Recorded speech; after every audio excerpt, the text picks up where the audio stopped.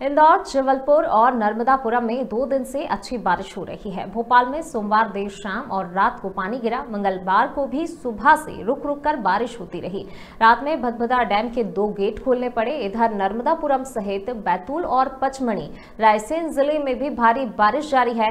बैतूल के छोटे महादेव भोपाली में मंगलवार को मंदिर के पास रेलिंग में कई श्रद्धालु पानी के तेज बहाव की धार में फंस गए।